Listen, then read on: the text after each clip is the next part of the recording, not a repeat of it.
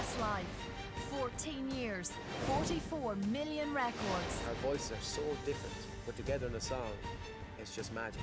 With more consecutive number ones than the Beatles. So the first one goes to number one, and the second one, and the third one. And you start thinking, well, I want all of them to be number one. And collaborations with some of the greatest names in music. Four ordinary lads from Ireland who will go down in history as one of the most successful groups of all time. It was all meant to be for us. Four guys that when we stood on a stage, it felt right. But now it's coming to an end. I was probably the last one to come to terms with it, to go, yeah, is it the right thing? This is Westlife for the last time.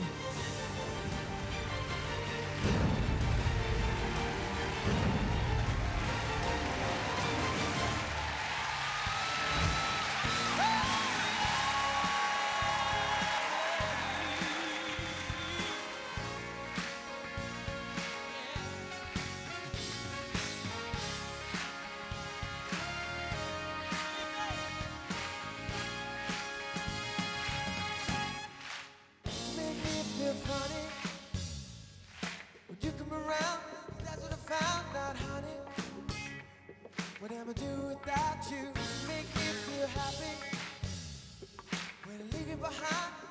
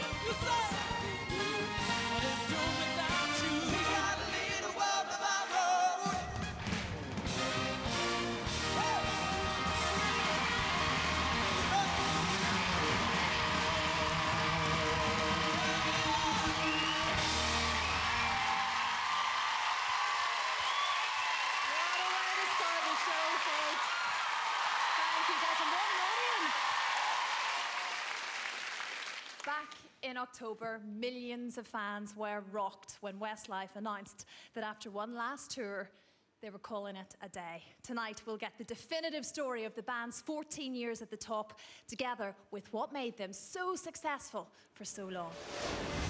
It all began with three schoolboys from Sligo on the west coast of Ireland. Shane, Mark, and Kian were yet to meet future bandmates Brian and Nicky, but this talented trio had already acquired a taste for the stage.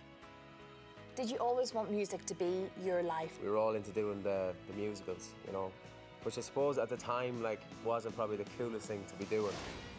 We started doing the musicals and we were the T-Birds. He was Kenickie, I was Danny, and Mark was a teenager. The guys were creating a stir locally with the local girls in the schools, like a boy band would. It was the first kind of taste of, I suppose, the kind of the madness, you know, the kind of screams. And obviously, somebody put two and two together and said, "Why don't you do some boy band songs at the interval?" You know. We wanted more. We wanted more of the screams and more of the. We got such a good reaction. We thought, you know, let's try this. Let's try and put a band together. Our whole lives were consumed by the idea of being in this boy band and, as we used to say, be the next Backstreet Boys. There was only one man in the whole of Ireland who could make such dreams come true legendary band manager Louis Walsh. You can't really underestimate just how powerful Louis was for you then. There's no doubt about it, if it wasn't for Louis Walsh, we wouldn't be where we are today. It is the fairy tale story, really, because it happened so quick. I got a phone call one day in my office from Shane Filan's mother. She was ringing him for two months and I hadn't a clue. She wouldn't let me off the phone. She said to me, You have to meet my son. We were in Sligo, we were playing in our local town, we were actually playing in, in Tesco car park at the time. I just sensed there was a commitment from them, that they were great friends. There was something different about this band. Eddie rang us up about two weeks later and said, You're supporting the Backstreet Boys next Thursday night. I remember just bursting into tears. I burst into tears. I couldn't believe that something like that could happen to me. I never thought of myself as somebody in a boy band. Um, people in boy bands were more sort of tan with six packs and stuff like that. A month later, you're saying, Right, I want to manage you. Louis' first job as manager was to reshape the band, and three were about to become five. What are your memories of meeting Nicky and Brian for the very first time? Nicky was in like a suit and a tie and you know, he was real professional looking, whereas Brian was in big baggy jeans and like a checkered shirt or whatever. I sang the song Father and Son, and I remember as I was singing thinking they're not stopping me, and they'd stopped others. And I came off the stage, Louis came over, I'd never met him before, and he went, Stay there, stay there, I, I want you in my next pub band, I want you in my next pub band. He was saying pop band, but I thought he was saying pub band. and I thought to myself, I don't want to be in a pub band.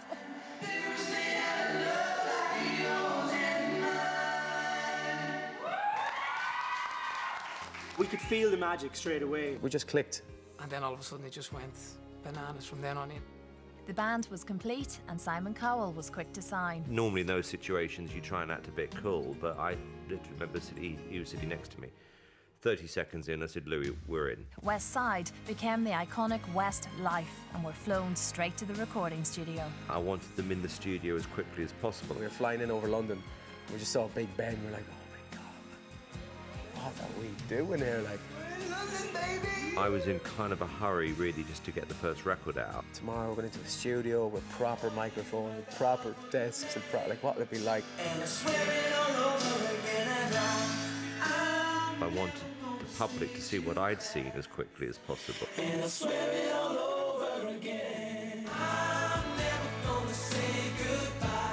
At what point did you think we're on to something really special here? Well, I remember the first time we heard her song on the radio, and we were in the back of a van, and Swear It Again came on. We couldn't believe our song was on the radio. It was like literally shh. The five of us just started screaming our heads off. We were like, oh my God, our song is on the radio. There is something different about hearing your song on the radio, even nowadays. And with the first of their 14 number ones in the bag, Westlife were well and truly on the road to superstardom. The world was changing for us. We were doing signings all over Ireland. I remember doing a signing for our first single. It was the first big crowd. We went up on top of the roof, and there was like 7,000 people outside. All of a sudden, it's happening, and you're going from nothing to number one singles to big concerts to thousands of fans everywhere. It was just the dream start. Still to come, Westlife are let loose on the world. Before Westlife, I'd never been outside the UK. We were like caged monkeys getting set free. And the fans get up close and personal. Pulling bits of hair out of your head. In a way, we loved it because it was like, oh my God, we're so famous.